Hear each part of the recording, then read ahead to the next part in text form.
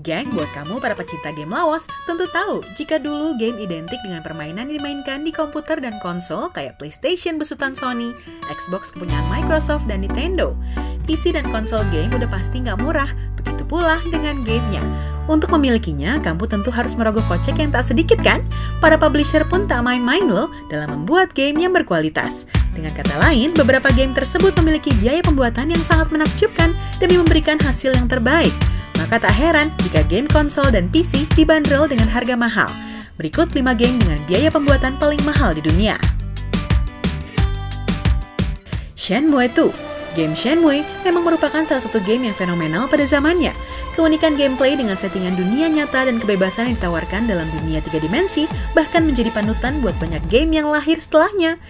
Di dalamnya terlihat dunia 3D yang sangat rinci, geng. Tak hanya itu, hampir semua aspek dari lingkungan serta karakter-karakter di sini bisa kamu ajak berinteraksi. Mau tahu yang lebih mengagumkan lagi? Shenmue itu menghabiskan dana yang cukup fantastik, geng, yakni sebesar 132 juta US dollar atau setara dengan 1,7 triliun rupiah. Gak heran jika Shenmue itu pun akhirnya dinobatkan menjadi salah satu game paling mahal di dunia. Star Wars The Old Republic Dirilis pada tahun 2011 untuk konsol dan PC, Star Wars The Old Republic adalah game dengan format MMORPG besutan EA dan BioWare yang dapat dimainkan secara free-to-play. Game satu ini bisa kalian nikmati secara gratis, geng. Nah, mau tahu biaya pembuatannya?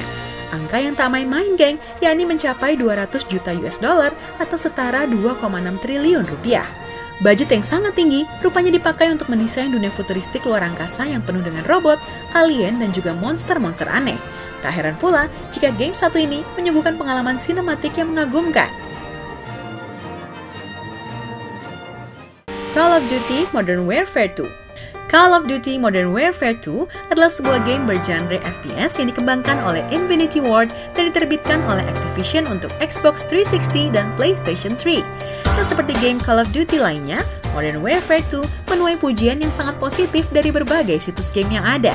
Saat dirilis pada November 2009, game ke-6 dari seri Call of Duty serta sequel langsung ke Call of Duty 4 Modern Warfare ini berhasil terjual sebanyak 4,7 juta kopi di seluruh dunia dalam waktu 24 jam saja.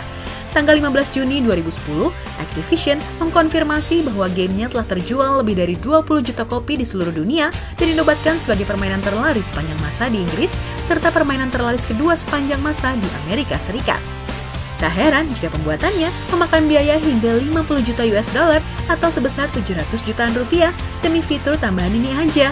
Belum lagi biaya pemasaran dikeluarkan oleh Modern Warfare 2 yang mencapai 200 juta US dollar atau sekitar 3,3 triliun rupiah.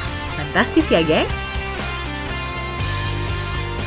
Grand Theft Auto 5 kamu semua tentu tahu kan game GTA yang legendaris ini? Setelah melewati proses penantian panjang, Rockstar akhirnya memenuhi harapan sebagian besar gamer di seluruh dunia.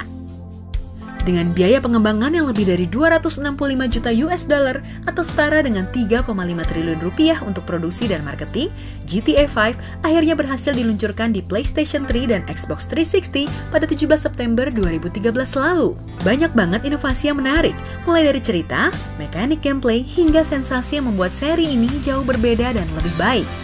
Dunia yang dijelajahinya lima kali lipat lebih besar dengan kualitas visualisasi yang menawan, efek tata cahaya, dan detail yang memesona. Terdapat fitur multiplayer yang dapat dimainkan hingga 20 orang demi menambah keseruanmu dalam bermain game. GTA 5 digadang-gadang menjadi game open world terbaik dan menjadi game dengan harga jual paling mahal di dunia. Meski banyak dimainkan oleh anak-anak, perlu diingat jika GTA 5 berkonten dewasa ya.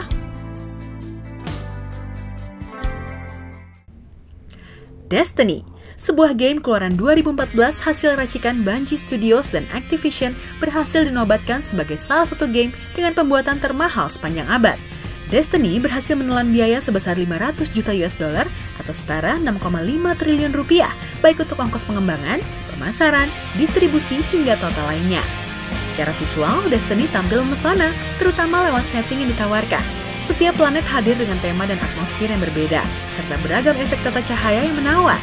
Destiny berhasil memadukan unsur MMO yang bakal mengajak gamer di seluruh dunia untuk melihat masa depan.